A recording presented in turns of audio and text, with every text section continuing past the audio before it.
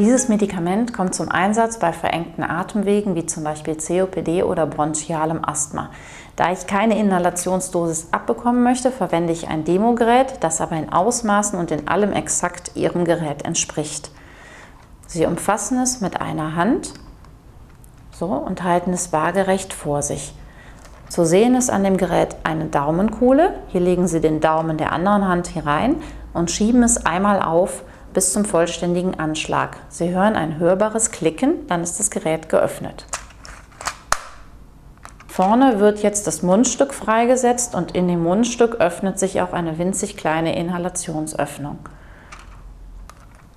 Zur Anwendung der Inhalation betätigen Sie jetzt den Hebel, indem Sie den Daumen wieder vor diesen Hebel einsetzen und ihn tief nach hinten drücken. Auch dann erfolgt wieder ein hörbares Klicken. Wenn dieses Klicken erfolgt ist, wird in dem Gerät eine Inhalationsdosis freigesetzt. Sie brauchen nicht mehrmals klicken und sollten es auch verhindern, um nicht mehrere Einzeldosen gleichzeitig einzuatmen. Das Gerät steht jetzt zur Anwendung bereit. Sie atmen einmal kräftig aus und mit der nächsten Einatmung nehmen Sie das Mundstück in den Mund, umschließen es mit den Lippen und atmen tief und kräftig ein. Anschließend halten Sie den Mund noch ganz kurz geschlossen und können dann ganz normal weiteratmen. Ich mache es Ihnen jetzt einmal vor.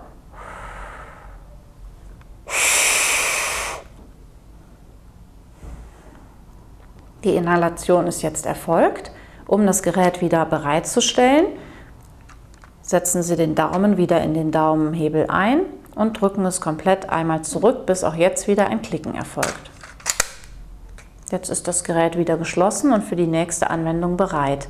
Außen auf dem Gerät zu sehen ist ein kleines Zählwerk. Hieran sehen Sie, wie viele Einzeldosen Sie insgesamt schon inhaliert haben. Steht das Zählwerk auf 0, ist es Zeit, dass Sie Ihr Gerät ersetzen.